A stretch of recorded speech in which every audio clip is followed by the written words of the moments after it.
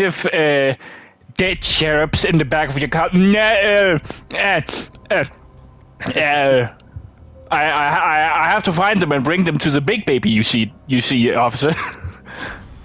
the big, the big baby wants all the small, small baby cherubs. I'm not crazy. That sounds like cannibalism. I don't know what he does with the baby. I don't care. I just, I just he, he gives me stuff, you know.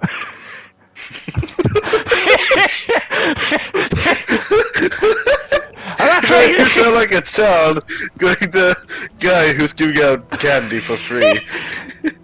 Officer, officer, said officer pulls over the blasphemous two guy. What are you doing with all them cherubs in the back of your car? Officer, I can explain.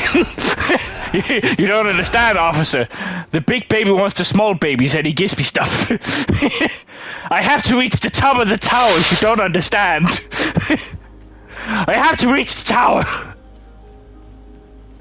It's my only chance before I face God. yeah, I, I, I have to. I Uh, need to. What the fuck?